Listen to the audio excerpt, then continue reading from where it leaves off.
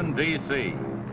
And in the files of the Central Bureau, there is a story so strange in its implications that it defies ordinary classification. It is the story of a handful of people who, in the course of one desperate night, held back a wave of panic and pandemonium. It began after sundown, time 7.15, as Flight A Coast Patrol from Travis Field was returning to base. When the nightly Air Force transport pointed north toward Japan via the Great Circle route. While at sea, the Navy and Coast Guard maintained their usual round-the-clock vigil. And from the equator to the Arctic, the radar network swept the skies with eyes that never sleep. Time, 719. An unidentified object was picked up 200 miles southwest of Point Barrow, Alaska. 727. Unidentified object confirmed at Fairbanks, Alaska. Heading south-southeast, 170 degrees. Height, 75,000 feet. Estimated speed, 5,000 miles per hour. White warning. 739. Unidentified object 200 miles due west of Vancouver, British Columbia. Course 170 degrees. Height 60,000 feet. Estimated speed down to 3,600 miles per hour. Yellow warning. 754. First interceptor flight airborne. Point of interception, 80 miles due west of San Francisco, California. 755. Unidentified object past point of interception. Red warning. 811. Morro Bay, California. Height 50,000 feet. Estimated speed 2,000 miles per hour. 815. Santa Monica, California. Height 10,000 feet. Speed 1,200 miles per hour. 818. All traces of unidentified object gone. Red warning lifted. By 825 at the Los Angeles branch of the Communications Commission, reports of strong interference with radio and television reception began to pour in from the beach area. The monitors went to work immediately. Mobile units were ordered to converge on the vicinity of the disturbance. Pinpoint direction finding devices began to trace the trouble to its source.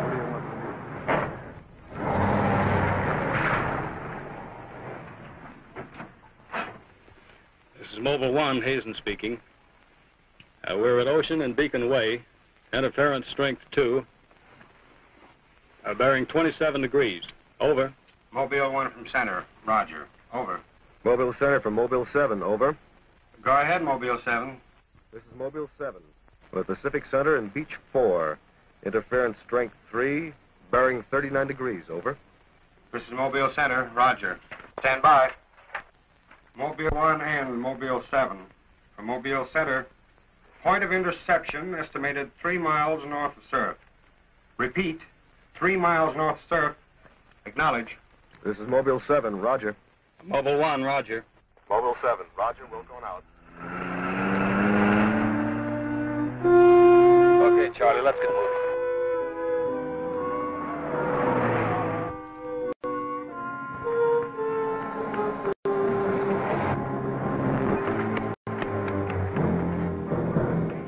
Yes, what is it? Take me to a phone quick. I need an ambulance. What's the matter? My husband and Pete out there in the picnic grounds just above the beach, they've been hurt. Well, this is the communications car. I'll phone it in from here. I'm Mobile One to Central, over. Did you make that out, Charlie? Not a word. I'm Mobile One to Central. I can't reach you. Repeat. They must be getting us all right. A Mobile 1 to Central. Have an ambulance sent to beach at Surf. Emergency. Two men hurt. Acknowledge. Roger and out. I'm sure they'll be here soon now. Tell us what happened. Oh, this man, he just kept coming at us. It was awful. Who? I don't know. He was wearing a suit like a diver. Hurry, please. They're hurt. Charlie, you better wait here. I'll go down and take a look.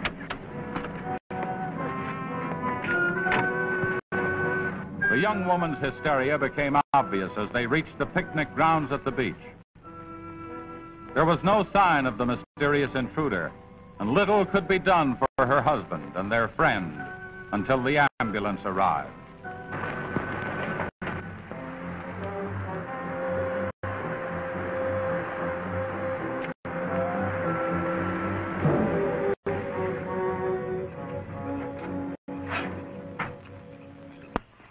Fellas.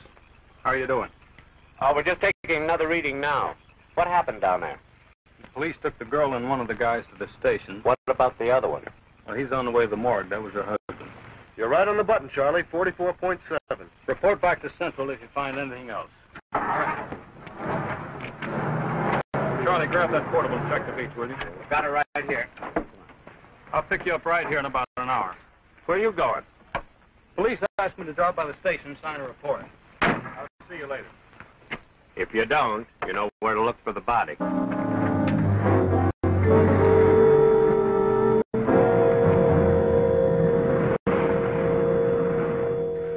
Like I said, we were just starting to eat when we heard something tracking through the sand toward us.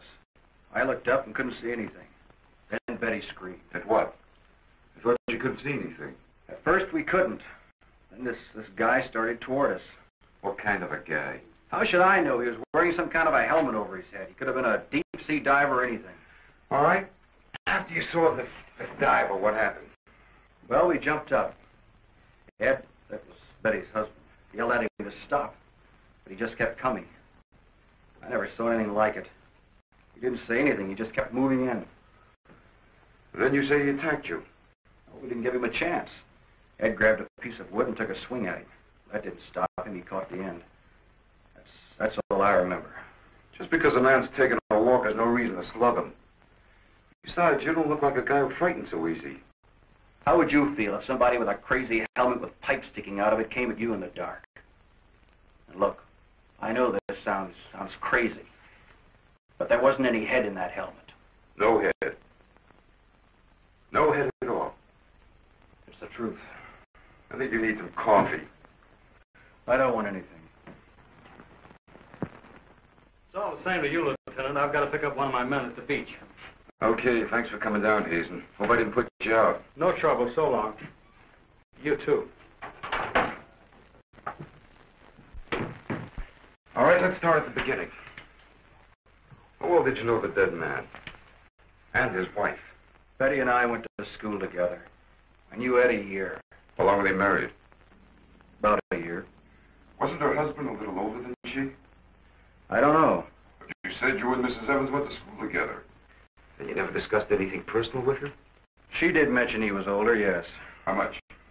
Fifteen, twenty years.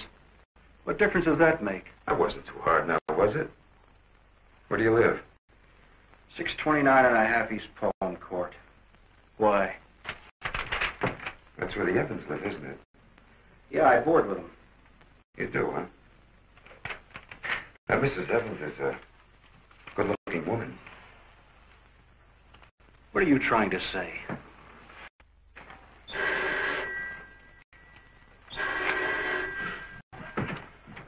Lieutenant Bowers. Where? Yeah, I got it. I'll leave right away. Ain't been enough murder. Near the beach. Keep an eye on this guy until I get back. What are you doing? You'll stay right where you are. At least until Mrs. Evans feels well enough to talk. What do you want from her? Oh, I just want to see if your story checks with hers. After all, you went to school together, remember?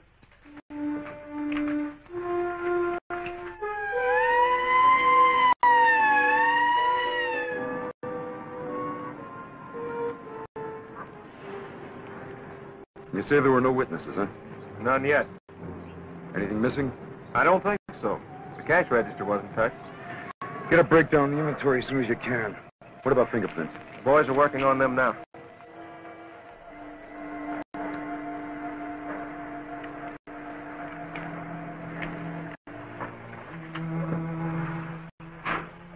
Sorry I'm late. What kept you so long? The lieutenant asked me to hang around a while. Well, what's the score? And looks like one of those things. Pretty girl, older husband, young boarder. Kid claims some guy without a head knocked the old man off. You don't say. Anything else? Yeah, he had a diver's outfit with horns. No. He's going to have to do better than that. How are we doing? I took a reading about ten minutes ago.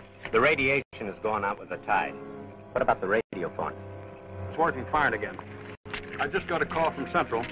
They said Mobile 7 picked up some new trouble northeast of here. Here we go again. Hop in.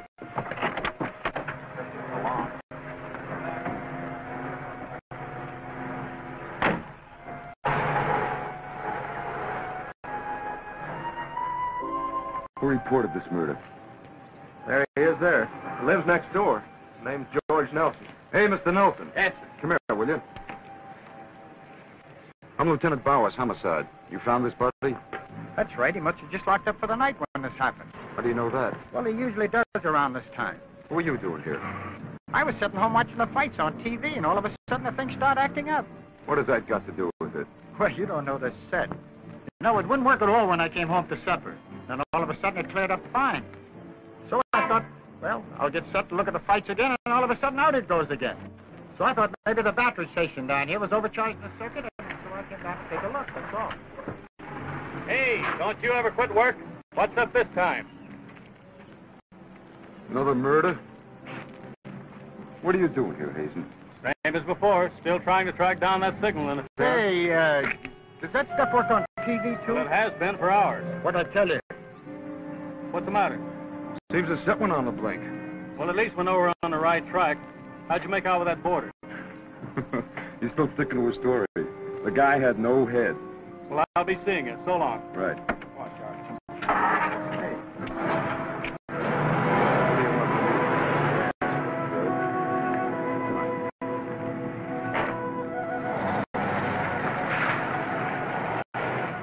And so the communications team resumed its mission to track the mysterious interference to its source. Via accurate readings taken at regular intervals by stationary and mobile units, it was determined that the disturbance was moving in a northeasterly direction.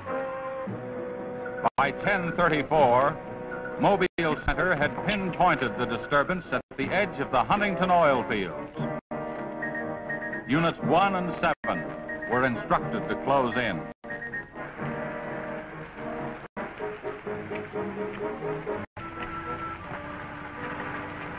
Hey, Charlie, do you see what I see? Yeah, the oil field. Let's hope our trouble's burning up. Well, there's only one way to find out.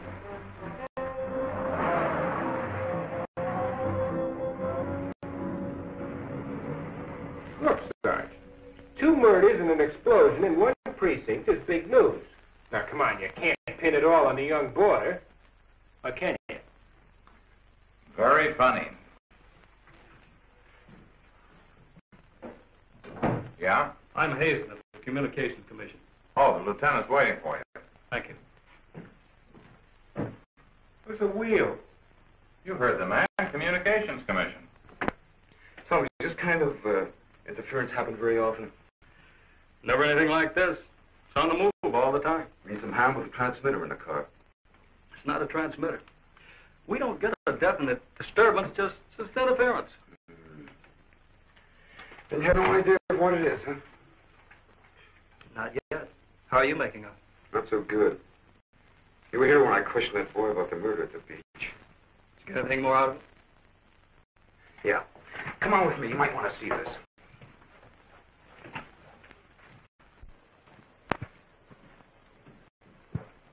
Ah, I see you're just about done. Thanks, you can go now.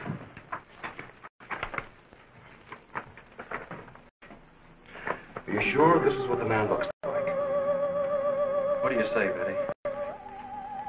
Well, just about. Only I think the tubes were a little lower down. And you still insist there was no head inside the helmet? I'm positive there wasn't. What about you? Well, it was dark. I couldn't swear to it. Thanks, that'll be all. You mean we can go now? Yeah, for the time being. Just stick close to home. I may want to see you again tomorrow. We'll be there. Come on, Betty. Kind of changed your mind about those two, haven't you? Yeah, I guess I have. Hey, look, bring in the old man, will you?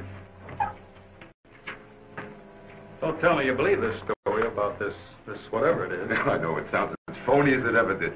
But, oh, sit down, will you, please? You're the, uh, watchman at the Huntington oil fields? Oh, yes, sir. I've been with the company for over 22 years, Sit down. Will you tell Mr. Hazen here exactly what happened? Walter, like I said before, I was just closing the gate for the night when I saw this fella coming up. I was never so scared in my life. Yes, go on. Well, it wasn't the man so much as the suit he was wearing. Well, he wouldn't stop when I hollered at him. He just pushed his way right in there through the gate and, and walked right up to the tank. You carry a gun. Did you try to stop him? Oh, well, he was much too close to the tank. I was afraid to shoot. So I thought I might call for help. And just I got to the shack, the tank blew up. Oh, you should see the sight. Yeah, That uh, sir, can you give us a description of this man? How would you say he was dressed? Well, sir, like I said before, he wore a sort of a, a sort of pliers, uh, not outfit, with a helmet attached to it. How tall was he? Oh, he was a giant of a man. And he had tubes sticking out of that thing, that helmet he wore. Uh, can you tell us what his face looked like? Also, though he got pretty close to me, I could swear the man had no face. Now, if you saw this man again, would you recognize him? I mean by his outfit. Oh, I'll never forget that sight if I live to be a hundred, sir. Would you say this is the man?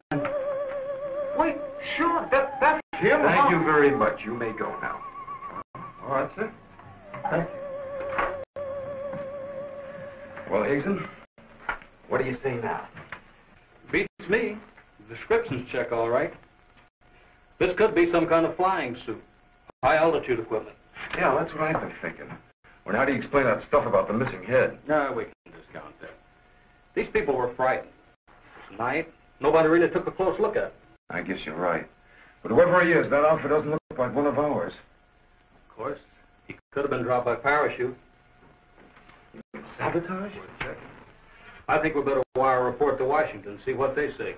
Ah, you can use our teletype. I'll tip off the LA police, the police to be on the lookout for something unusual. Hey, wait a minute. What about the press? Oh, I don't think they know too much now. We better keep it that way for a while at least, till we find out whether our friend is still around here. Well, if he is, I think we can find him for you. My hunch is that he's he's carrying something around that's causing all this disturbance, whether he knows it or not.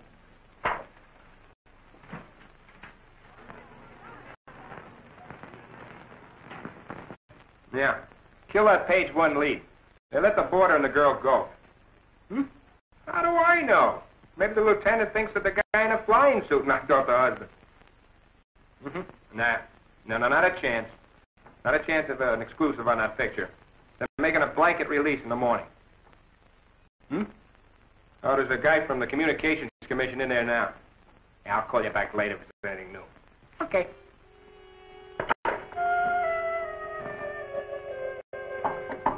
Sorry to interrupt you, Lieutenant. Yeah, what is it, Jim? There's a teletype cam for you. Oh, thanks, Jim. We're waiting for it. That was fast. Well, here's our answer. Looks like they never sleep in Washington. Says to contact a Major Andrews, care of Dr. Wyatt, director of the Griffith Institute. Hey, it's kind of late. Man, I'll give him a call. While you're at it, I'll go out the car and check in with Central. Okay.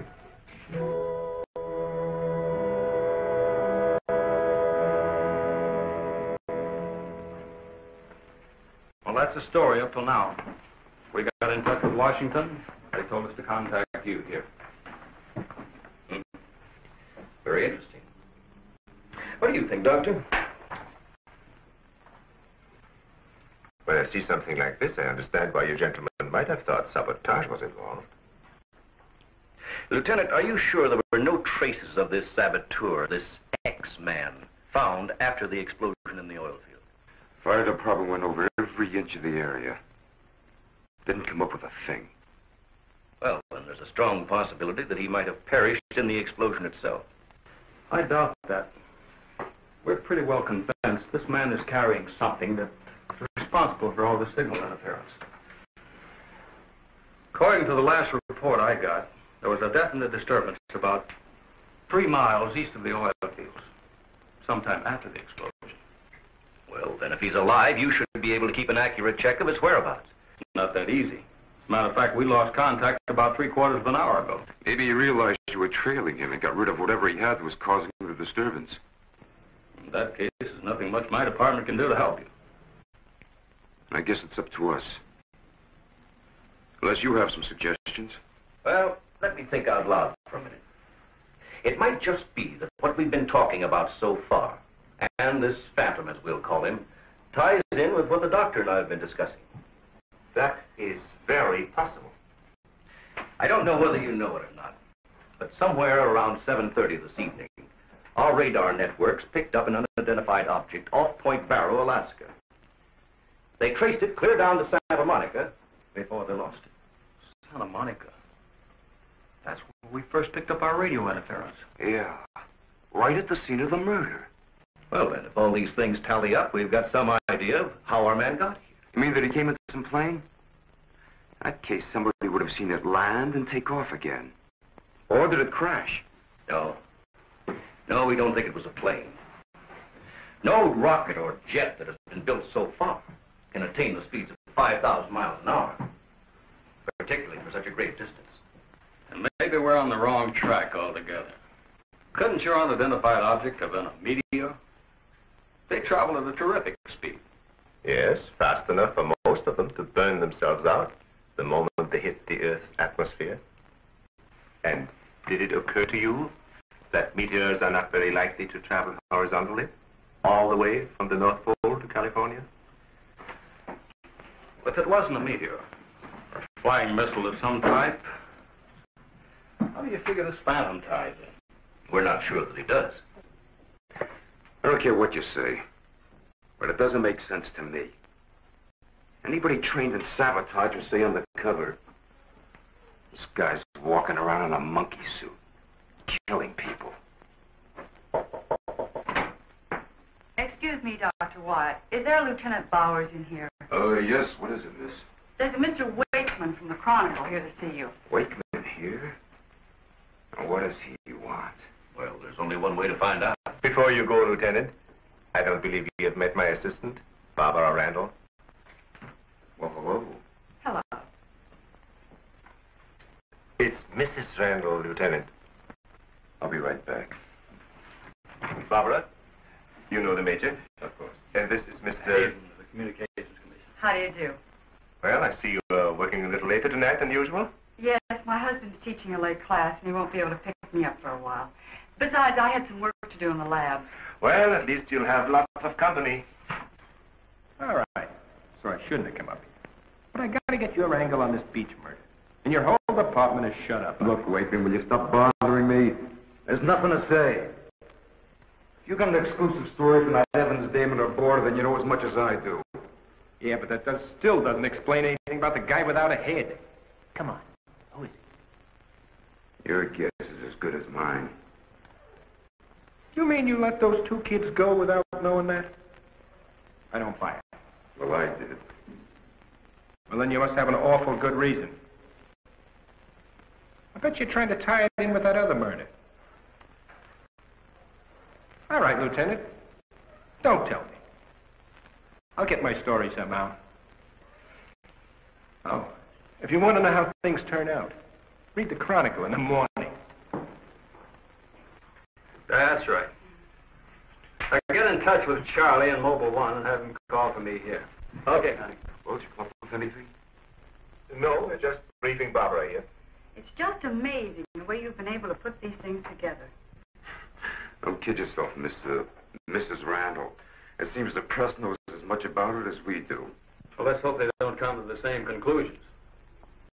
A few lurid headlines, and every fool in the country will be seeing phantoms in spacesuits and men from Mars all over the place. Yes, I can imagine. And mass hysteria is difficult to check once it gets started. That's why we've got to move fast. Well, from From the looks of things, I guess it's up to me. I'll be in touch with you as soon as I hear anything. See you. By 12.30 a.m., the dragnet was in operation. Mobile units patrolled the streets and countryside. They covered an area 35 miles square. Special and sensitive equipment was prepared for action. Everyone on the job was ready to move on the first signal from the Communications Commission. Monitor Corona to Mobile Center, strength 4, Brickyard at 160th, moving toward oil fields. Contact your units. Over and out. Units 1 and 7 from Mobile Center. Units 1 and 7 from Mobile Center. Strength 4, interference at 160th in the oil field. Moving due east. Close in. Repeating, strength 4, interference at 160th in the oil field. Close in.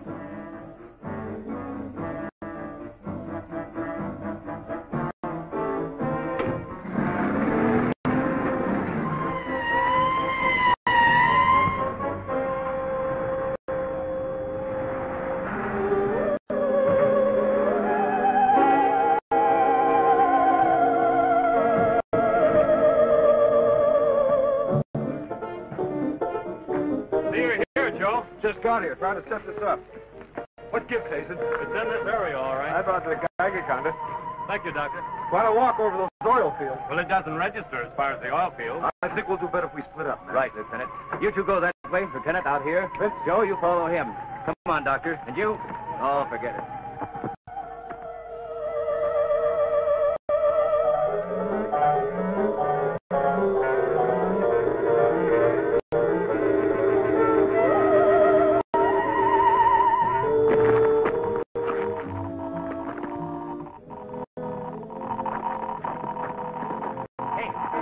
Look at this. Yeah, points this way. Hey, Joe! Joe!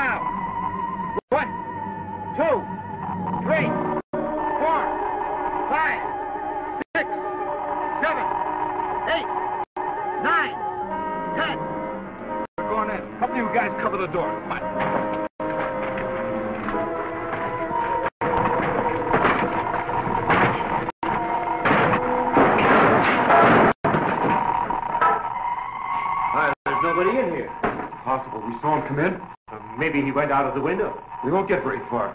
Don't touch anything till we check for fingerprints. Oh, doctor, over here. He left his suit in his helmet. Hey, let's spread that thing out so I can get a good shot of it. Give away, you fool. What's the matter? For your information, that's a Geiger counter, and it says hands off. I think you'd better wait outside. I just have a job to do. So do we. And I'm afraid ours will have to come first. Now, there's no radiation from the helmet. But look at this. So that's what's been causing all this trouble.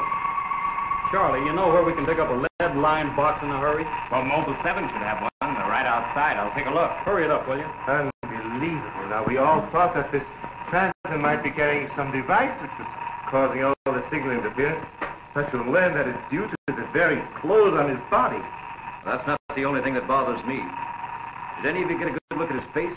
Not me. He's too far away. Well, I did. Unless I'm mistaken, that helmet was empty. Hey, where am I going to put this stuff? Oh, put it in Dr. Wyatt's station. Yeah, we take it back to the institute. Right. Find out anything? No. No, that's all right. You can handle that.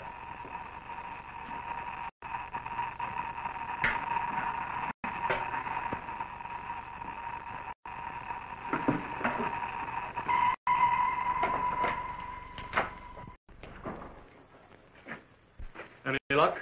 Not a sign of him. Boys are still searching the grounds. For what? Nobody knows what he looks like without that outfit. I'll bet on that, Major. Reporter got a flash picture of him, and I just happened to borrow that film. It's on its way to headquarters right now to be developed. Good. Send us a print as soon as you can. Sure. Lieutenant, are you sure you don't want to come with us? We want to make a few tests at the lab. I'd like to, Doctor. Would you know the situation? I gotta get that guy. Let me know how you make out, will you? Yeah, we'll do that, sure.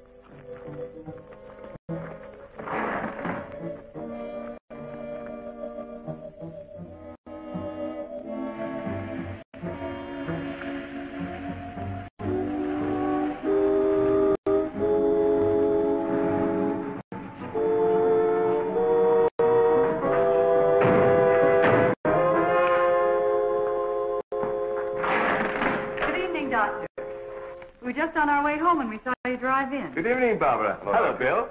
I see we got here just in time. Anything new?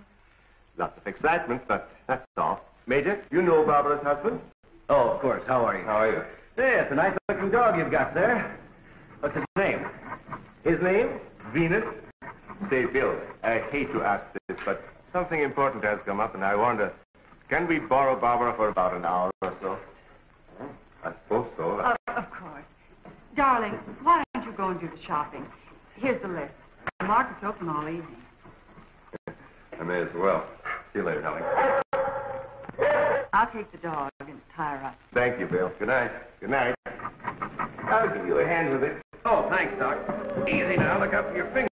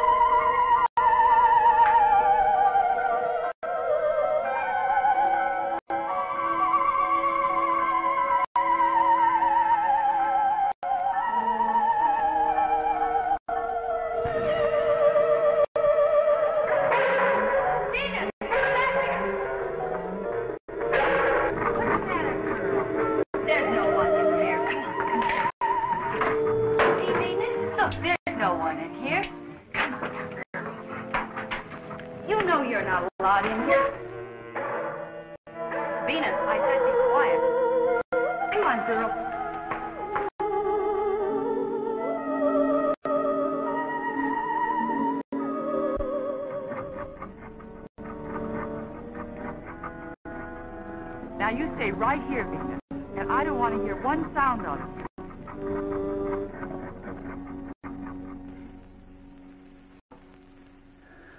You were right, Doctor. There are no fingerprints anywhere. What's all this? Hey, don't touch anything. You better put some gloves on. Our friend, Mr. X, left this suit at the oil refinery. You mean you were that close to him and you didn't catch him? I'm afraid so. That's up to the police now. Hand me those shears. I want to cut up this, this material to work with it.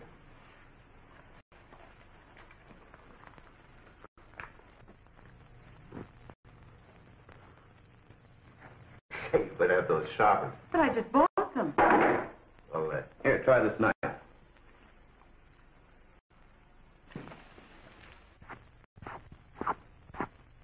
Still won't cut. Let me try.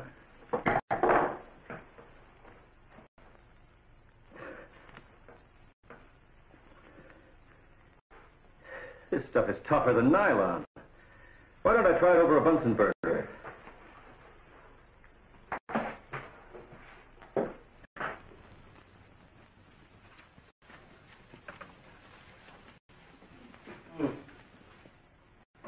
It doesn't burn either. Let's take a look at it under the microscope. Look, it, it's magnetic. Magnetic. Here, I'll... Radioactive. And apparently indestructible. Thank you.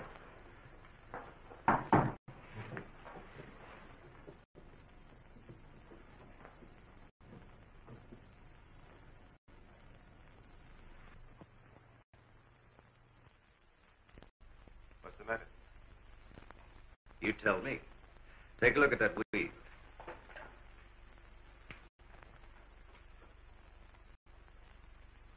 What weed?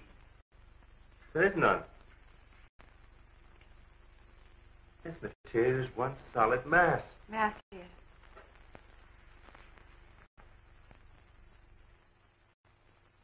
Why, you're right. It must be some sort of plastic. No. I'd say it's a metallic substance of. Well, I've seen a lot of interesting alloys, but never anything like this. Let's try an acid test. All right. Go ahead. Careful now.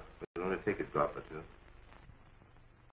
It repels acid like a raincoat repels water. Why, there's no reaction. Well, Major, this looks as though we're going to be here for a long time.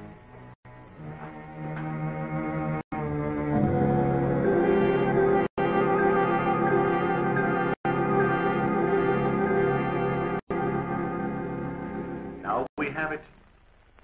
The helmet is not radioactive. The suit is. There is no doubt. This spacesuit is conditioned to function above 63,000 feet, where human blood would boil, resulting in the body expanding to twice its size. And death, of course. I know. And it must withstand pressure and counterpressure. Also, it must be so supercharged it can function in thin atmosphere. Now, let's see what it is that is left in this breathing apparatus. Well, how are you doing? The gas in the helmet tank breaks down to 11% methane. Ordinary marsh gas? What's the rest of the formula? No, that's where I'm stuck. I can't figure it out. It just doesn't respond to any of the usual tests. Well, how could anyone exist on that combination of gases? You and I couldn't. But apparently someone can. Doctor, are you trying to say that our X-Man doesn't breathe oxygen and hasn't the metabolism of a normal human? I really don't know. From what we've seen, he has some physical characteristics which make him appear human.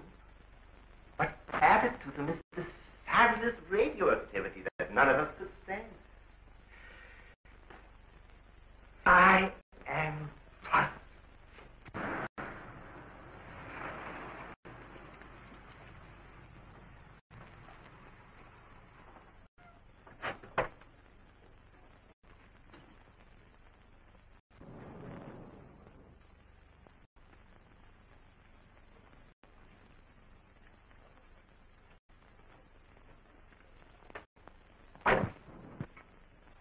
Think the answer lies right here in this helmet. Obviously, he needs it to survive. Otherwise, he wouldn't have risked wearing it where he was sure to be recognized. As it is, he only took it off when he was cornered. But if what you say is true, how can he exist without it now? Let me put it this way. It's like a patient in an iron lung. Sometimes one can, can be removed for hours at a time without any ill effects. Exactly. And I think the same principle applies here. And that means sooner or later, he has to get his breathing apparatus back or die. I don't understand. Well, I've got an idea. If we were to return this whole outfit to where he left it, he might be tempted to come back. Dr. Wyatt speaking? Yes, he's here. No, thank you. Hello, Major. Still at it, huh? Mm-hmm. No, we haven't got a thing, no. The picture? Yeah, hold on. He says the picture the reporter took of our man didn't come out. I was afraid of something like that. The radioactivity must have burned the emulsion. Hello. No. No, we didn't find any fingerprints at all on this clothes. Did you find any? Oh, too bad. Hello? Will you wait there, please? we don't know what to make of this either. Have you heard from the communication boys yet? Well, let's hope they turn up with something. Major, excuse me. Hold on a second. Yes? It's Mr. Wakeman of the Chronicle. He insists upon seeing you. He does? Where is he? I told him to wait in the lobby. Good. Hello? It's our friend from the press is here.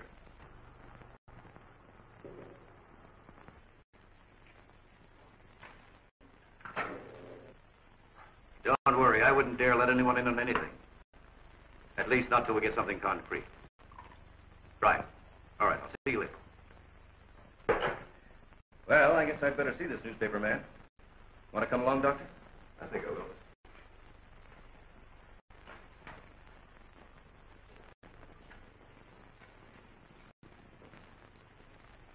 Oh, hello. Remember me? Certainly, yes. Nice lot of gadgets you got here. We think so. What's on your mind? Well, I was wondering if you might let me take a couple of pictures of that suit you brought up here. I'm sorry, we can't do that. Oh. Well, now look, I got a wonderful picture of the guy running in the shack, and the lieutenant stuck his nose in my business, and what do I get? A blank.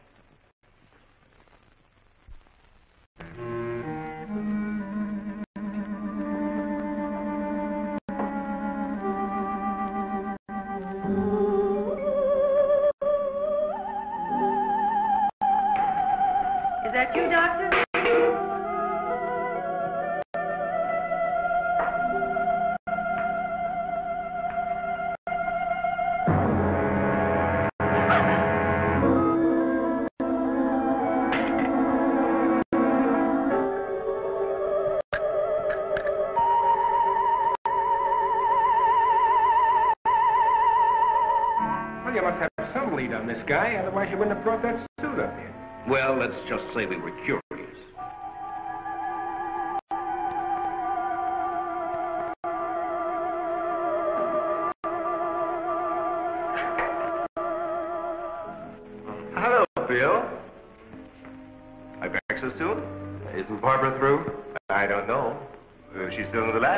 Up and see?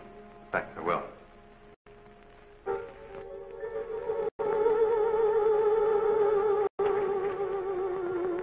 Barbara? Barbara, are you in there? Bill, listen to me. I'm not alone.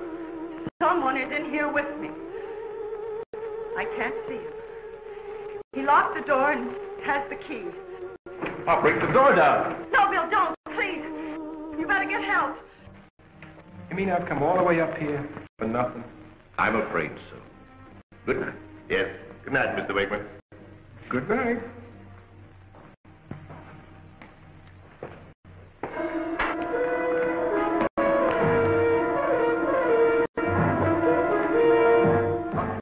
Major, come quick. What's the matter? What's the matter? Where's Barbara? In the lab. The door's locked and there's someone in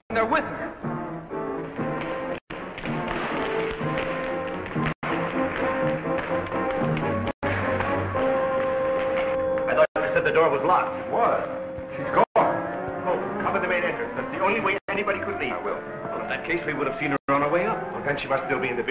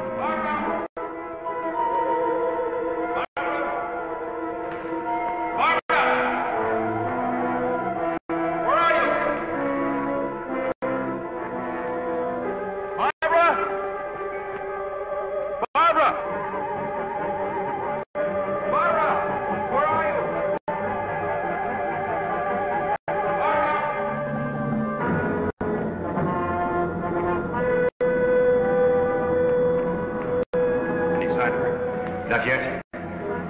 She must be around here someplace. Now, you stay here. Watch the main entrance. And I'll check the basement.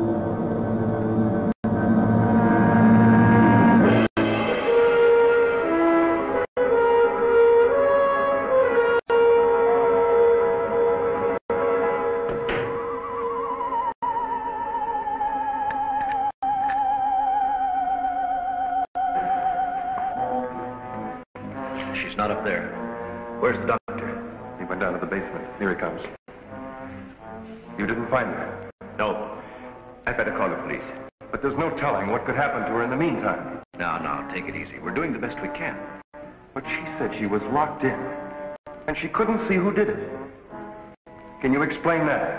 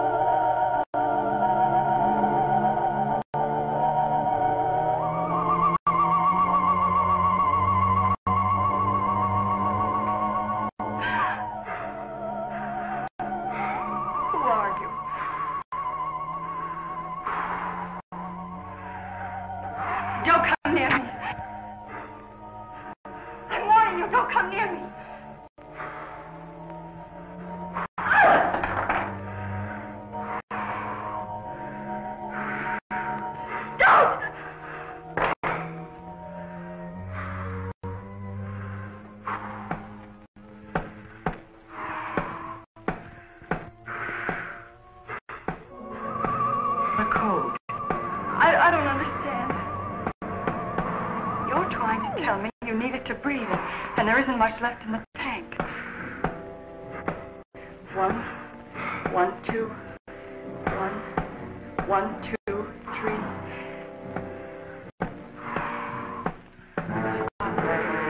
I'll write it down.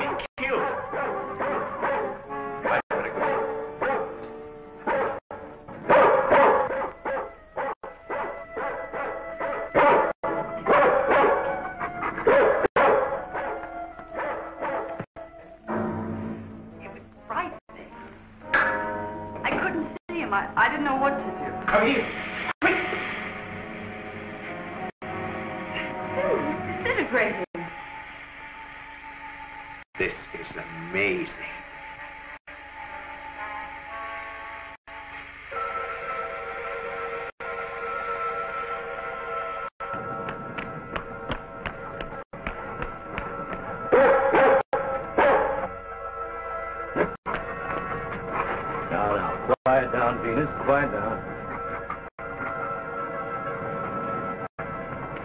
Down.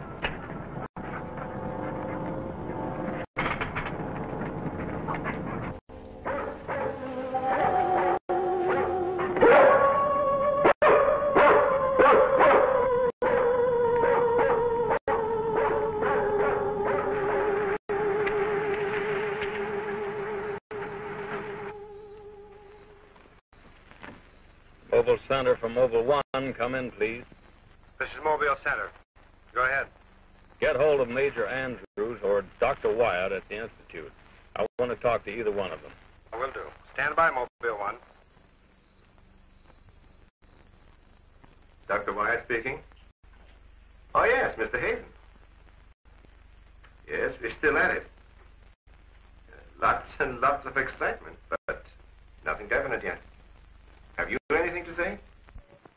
The trouble seems to be just about gone. We get a flash in the direction of the observatory once in a while, but I figure that's because of the outfit you're testing. Yes. Lieutenant Bowers ought to be here any minute. Of course. How long will it take you to get up here? Good. See you then.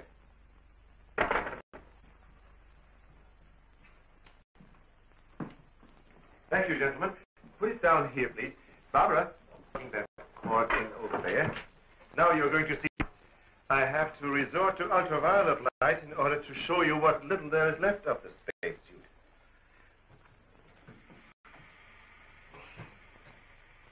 As you can see, it has reduced itself to this liquid and it is in an evaporating stage. The helmet is in the lab and still intact.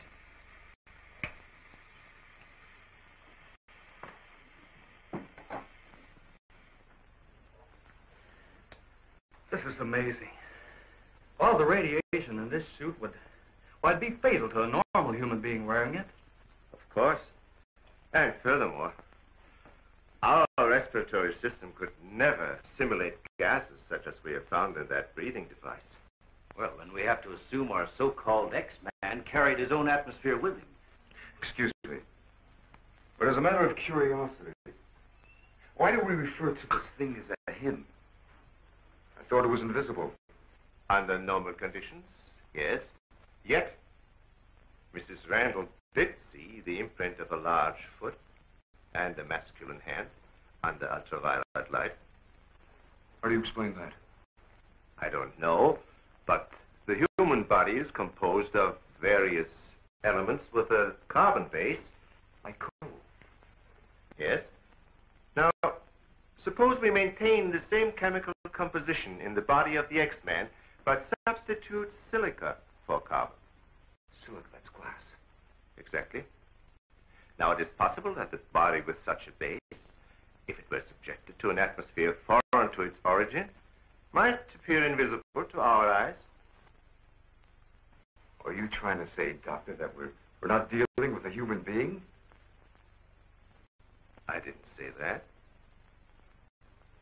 On the contrary, all the evidence points in the opposite direction.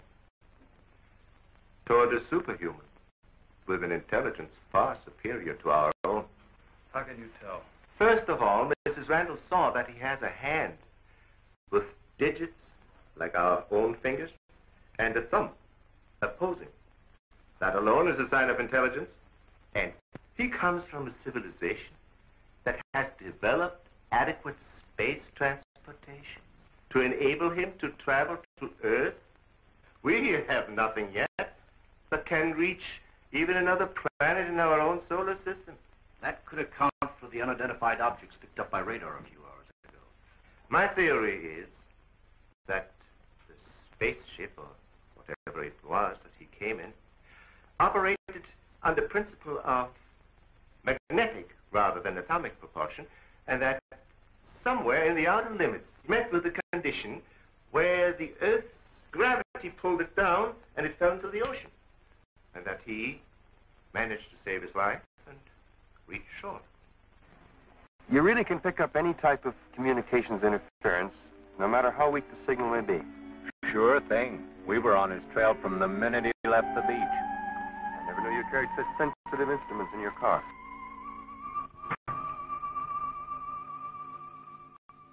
What you told us is very interesting, Doctor.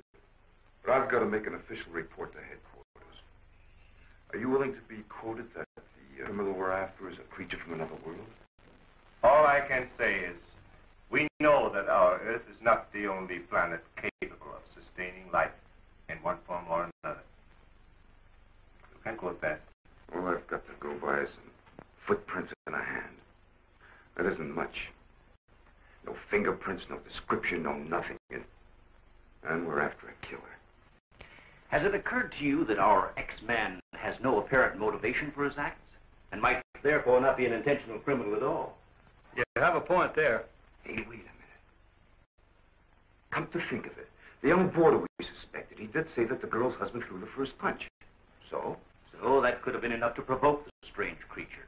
And the same could have happened at the second murder. Sure. What about the fire in the oil fields? Evidently, our man sensed the presence of some gases, which he thought might be utilized in his breathing apparatus. Yeah, that could account for his presence at the oil refineries, where something went wrong, causing the explosion. Too bad he got wise to us and took off his uniform, or we'd have been able to catch up with him by now.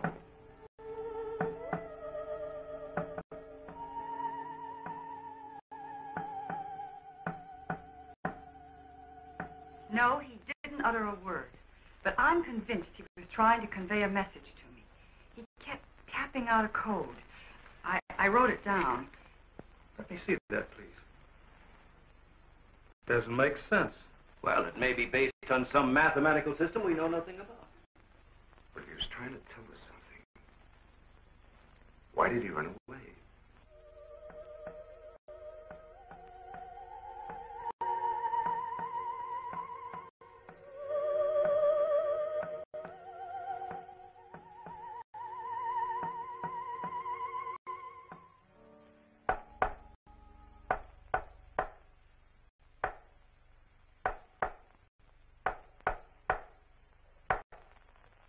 Do you think of that? Hell, Hazen must be crazy sending out stuff like that. I guess so. Let's try and get a hold of him. Yeah. Mobile 1 from Mobile Center. Come in, please. Mobile 1 from Mobile Center. Come in, please. Mobile 1 from Mobile Center. Come in, please. Hey, that's Central calling.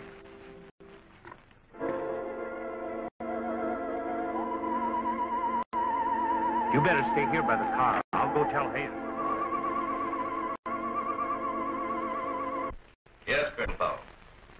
Of course, I'll mail you a complete report first thing in the morning. Yes, sir, thank you. Oh, and I'm I'm awfully sorry to disturb you so late at night. Right, good night, sir. He's around here, this invisible guy. He was in the car. How do you know? I was talking to Randall outside when I heard Central calling. Before I could get over to answer, I saw the door open and shut by itself. He's desperate. For all we know, he could be trying to send a distress signal to his home base, wherever that is. Well, let's hope he doesn't get through. We've got enough problems with just one of those guys. Well, at least we know he's around in the vicinity, and it's obvious what keeps him around. Of course. He's got to come back for what little gas there is left in his helmet. And when he does, Oh, please, the most important thing is to take him alive. If we can only make each other understand, there's no telling how much science can profit. I'll go along with that, Doctor. But I've got to make sure that once he's cornered, I'll be able to hang on to him. I think we're all agreed on that. All right, good, then we must see it from his angle. He's in an alien world. No doubt we are as frightening to him as he is to us. Now, the most important thing, then, is to keep calm at all costs and do nothing to provoke him. Immediately, a simple plan to trap the Phantom went into operation. All obstacles to his entry were removed. To erase any possible suspicion, the doors were left unguarded, and inconspicuous electric eye equipment was set up. All this was connected to a makeshift control board, which would immediately signal the exact location of the trespasser. Now, there was nothing to do but wait. The one road leading to the Institute was blocked off to make certain no outsider would upset the plans or interfere in any way. What's the big idea? Sorry, nobody's allowed through here. Who says so? Lieutenant Bowers' orders. Oh, is he up there? He might be. Well, you get word to him that Joe Wakeman of the Chronicle is here. Sorry, Bud, I can't leave. Oh, what about them over there? Hey, you over there. Me? Yeah. Aren't you the guy from the communications outfit? Didn't I see you down at the oil fields a couple hours ago? What of it? You got anything to do with this? Well, you'll have to ask Lieutenant Bowers about that. How can I if he won't see me? That's a good question.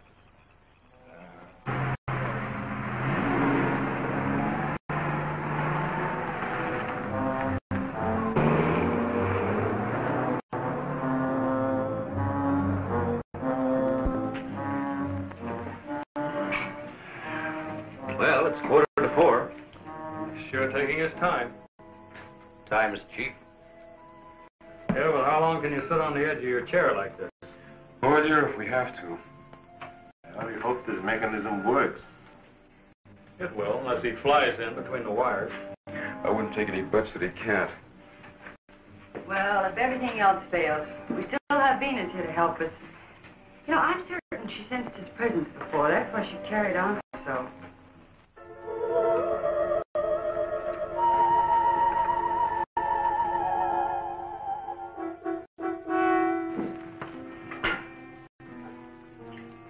Matter, Lieutenant? Is this thing getting you? Oh, no, no, I'm just thinking about public reaction to all this. I'll give something to the press by morning.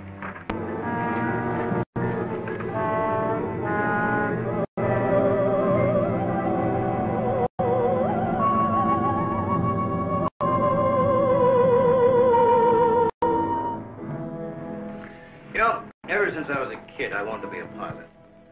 Then after I got my wings and had had 75 missions, I thought I'd seen everything. Now, after all this, I know I haven't seen anything. He's here. The back end.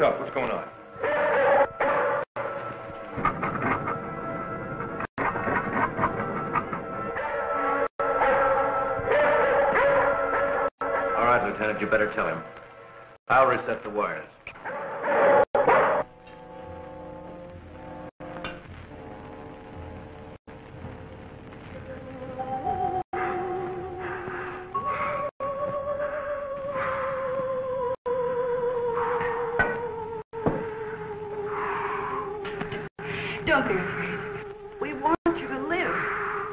Don't you understand? Can't you speak? Can't you say something, in anything, in, in any language?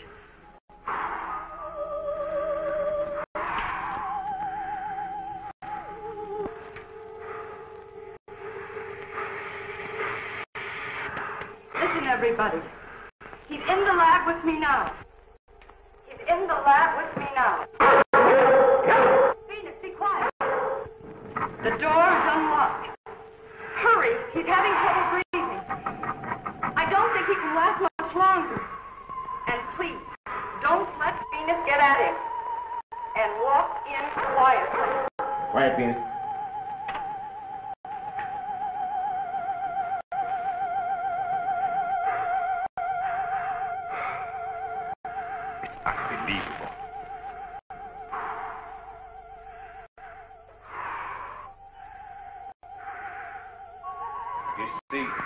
something to be afraid of. Nobody wants to hurt you. I've tried to reason with him. I feel he understands, but he can't speak. Wait a minute. I'll try his code. I think I remember it right.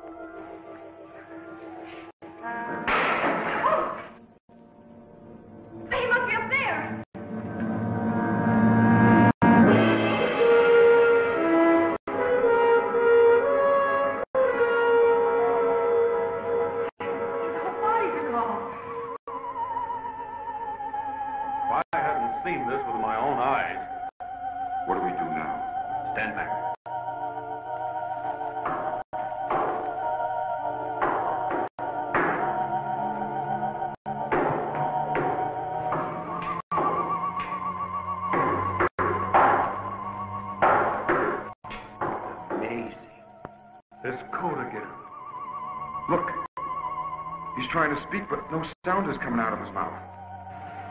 Look at Venus. She acts as though she hears him. Yes. Dog can hear sounds that we can. His voice must be beyond the range of the human ear.